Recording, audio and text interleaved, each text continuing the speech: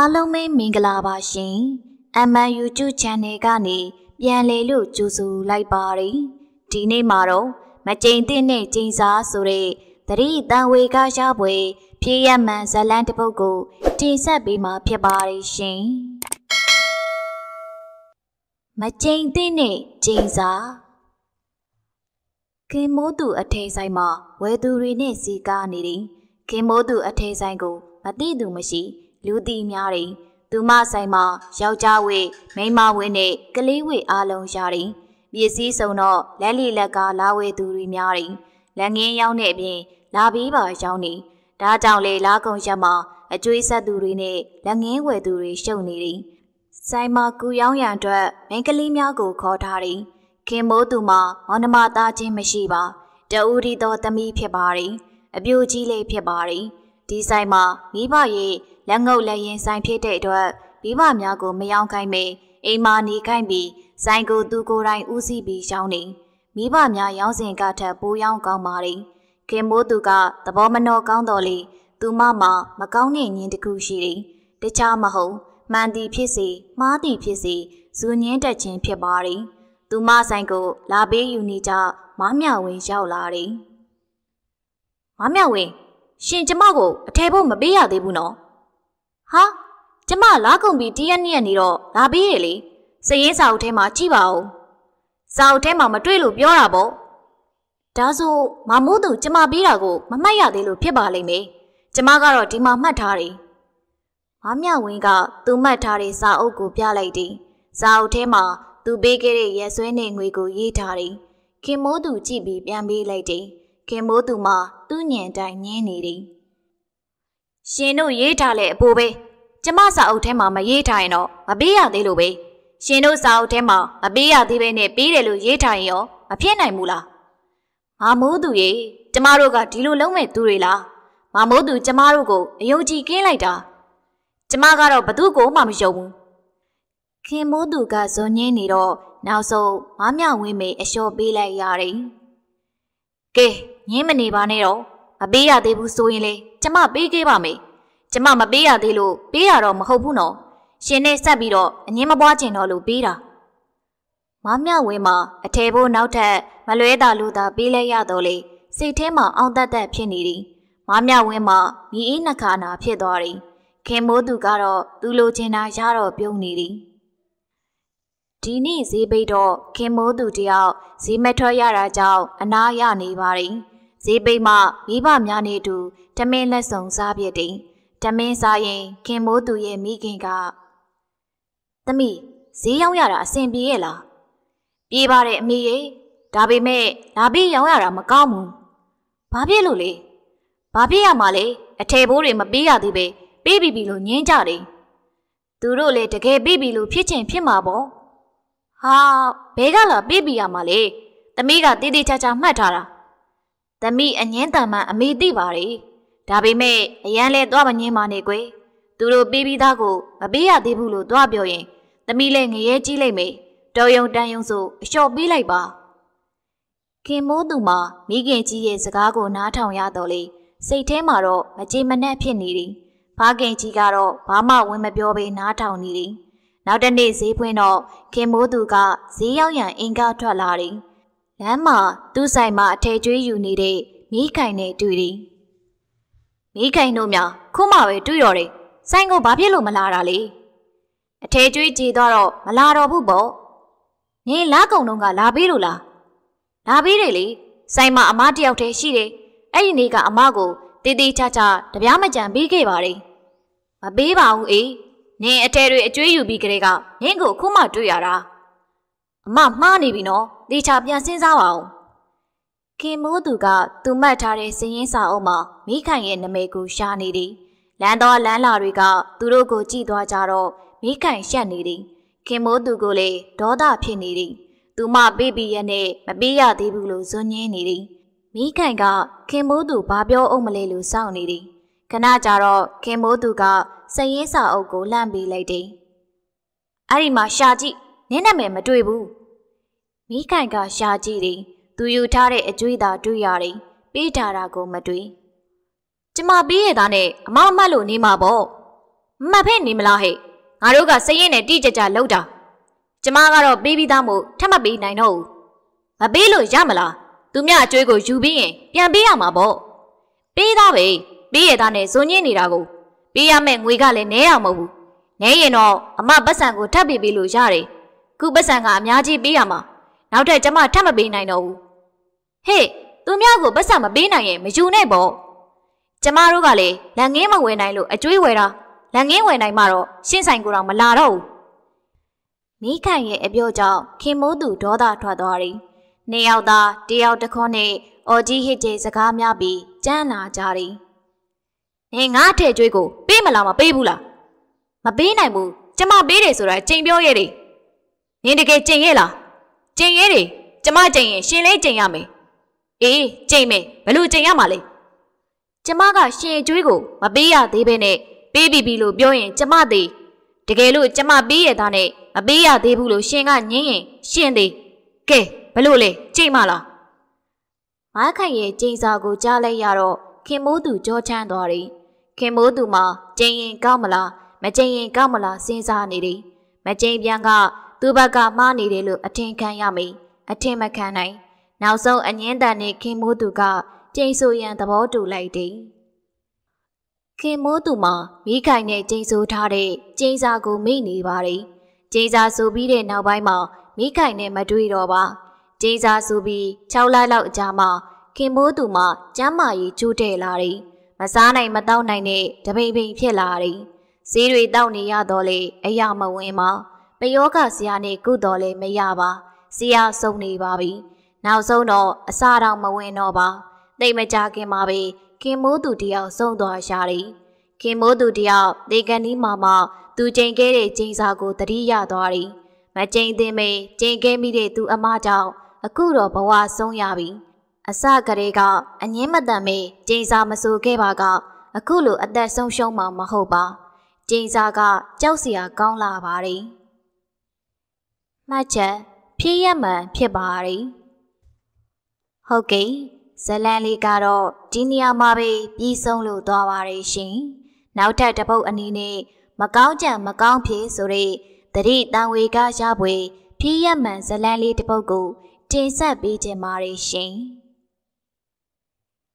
မကောင်းကြံမကောင်းဖြည့်တိုင်းရင်စီးစရာကြီးဦးတန်းကလူပမာကိုစစ်ဆေးပြီးတဲ့နောက် သူ့ရဲ့စီးအိတ်ထဲကတိုင်းရင်စီးများကိုထုတ်ယူပြီးစီးသုံးရက်စာပေးလိုက်တယ်။တနေ့သုံးချိန်တိုက်မနက်နေ့လေညလူပမာရဲ့သားဦးလူလာကဈေးကိုယူပြီးမလန်မကန့်ရှိခွက်အလွတ်တစ်ခုထဲမှာထည့်ထားလိုက်သည်လူပမာအမျိုးသမီးကြီးကစီးစရာနဲ့သားဖြစ်သူကိုတလဲစီကြည့်နေပါတယ်မောင်လူလာ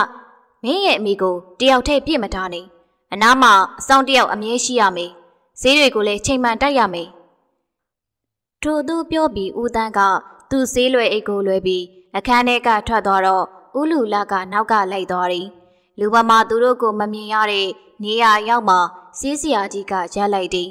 ဦးလူလာကသူ့အိတ်ထဲကငွေဆက်ကူများကိုထုတ်ယူပြီးဦးတန့်ကိုရိုးရိုးတည်တည်ပေးလိုက်သည်ခြေကြွားကနဲ့စီးဖို့ပါခမ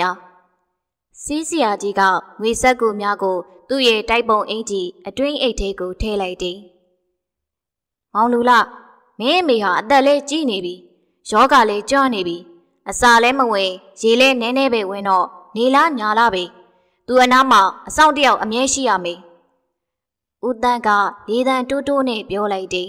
။ဟုတ်ကဲ့ပါဆရာ။ညဘက်မှာကျွန်တော်ရှိတယ်။လေးဘက်မှာတော့လေတဲ့သွားနေတော့လူတယောက်ရှာထားပါမယ်။မြန်မြန်ရှာငါဒါပဲပြောချင်တယ်။ စီးစရာကထိုးသူပြောပြီးထွက်ခွာသွားတယ်။လေသမဦးလူလာကတပြင်းချလိုက်တယ်။လူပူစိတ်တို့ဦးတန်းကသူပြောတဲ့အတိုင်းမလုပ်ရင်ဘသူကိုမဆိုစူပူကျိမ်းမောင်းလေးရှိသည်ဥလူလာတို့မှာဆွေမျိုးရင်းချများမရှိဒါကြောင့်ဥလူလာကသူမိခင်အနားမှာနေဘက်စောင့်ပြီးရန်သူ့စိတ်ထဲမှာရှာကြည့်သည်ရွာသူရွာသားများမှာနေဘက်မှာလေခွင်းများတွေရောက်နေကြတာကများသည် ရွာထဲမှာအားလက်နေပြီးကျမ်းမာနေတဲ့ဒေါ်ရွှေပွင့်ကိုသူစဉ်းစားမိသည်ဒေါ်ရွှေပွင့်မှာဆင်းရဲသည်အသက်60ခန်းသူနဲ့ရွယ်သူဒေါ်ရွှေပွင့်ကဥလူလာထံကဝေများကိုချီးထားတယ်အတူရောအရင်မှပြန်မဆက်နိုင်တော့ဦးလူလာကိုတွေ့ရင်ဝေးဝေးကရှောင်နေတယ်ဦးလူလာကဒေါ်ရွှေပွင့်ကိုကူညီတောင်းရန်ဆုံးဖြတ်လိုက်တယ်ဒေါ်ရွှေပွင့်ကအင်ဂျီစုပ်တစ်ထည်ကိုချုပ်နေရမှသူ့ထန်လာနေတဲ့ဦးလူလာကိုတွေ့လိုက်ရတယ် ဟဲ့လူလာနင်းအမေကျမ်းမာကြီးဘလို့လဲတိတ်အားမရဘူးဦးတန်းကတော့ပြောတာပဲတိတ်ကြကြမခံတော့ဘူးတဲ့ဦးလူလာကဒေါ်ရွှေပွင့်နဲ့မလန့်မကန့်မှထိုင်ရင်ပြောလိုက်တယ်အေးဟဲ့ငါလည်းနင်းအမေကိုမြင်ရင်စိတ်မကောင်းလို့မလာတာဒေါ်ရွှေပွင့်ကအချုပ်တဲ့အလုပ်ကိုလုပ်လိုက်တယ်အခုငါလာတာနင်းစီကိုကူညီတောင်းမှုဆရာတန်းကနေဘက်မှာလူနာဆောင်ထားရမယ်တဲ့ငါ့ကိုကူညီပါရွှေပွင့်ရေ ငါနင့်ကိုပတ်စံပေးပါမယ်။နင်စားစီရတာပေါ့။ဒေါ်ရွှေပွင့်ကခိတစဉ်းစားလိုက်တယ်။အေးပါငါကူညီပါမယ်။ဘယ်နေ့ကစပြီးကူညီရမလဲ။ဒီနေ့ကစပြီးကူညီပါဟာ။ရော့ဒီမှာဒီနေ့တော်စီနဲတယ်လို့တော့မအောင်မိနဲ့ဟာ။ကဲငါသွားမယ်။နင်လိုက်ခဲ့တော့မြန်မြန်။အိမ်မှာငါစောင့်နေမယ်။နင်လာရင်ငါလေတော့ကိုသွားရအောင်မယ်။ပြောပြောဆိုဆိုလေသမားကြီးကထွက်သွားတယ်။ ဒေါ်ရွှေပွင့်ကငွေကိုကောက်ယူရေတွက်ပြီးသူ့အတွင်းကန်အိတ်ထဲကိုထိလိုက်တယ်အဲ့ဒီနောက်ပစ္စည်းများကိုသိမ်းတဲတကားကိုပိတ်ပြီးလူလအိမ်ကိုထွက်ခဲ့တယ်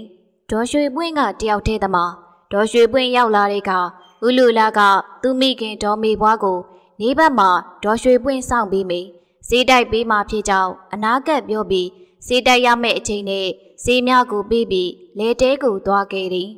ညနေနေဝင်ချိန်မှာဦးလူလာပြန်ရောက်လာသည်အမေချင်းနေဘလို့လဲနေလေကအတိုင်းမှာပဲအိတ်တော့မအိပ်ဘူးမှိတ်နေတာပဲကဲနင်ပြန်လို့ရပြီမနှက်ပြန်စောစောလာဟာဒီမှာပဲမနှက်ဆာဆာအေးအေးနောက်တနေ့နေထွက်ခါစားမှာဒေါ်ရွှေပွင့်ရောက်လာတယ်ဘလို့နေလဲဟဲ့နင့်အမေနည်းနည်းပူလန့်လာသလိုပဲ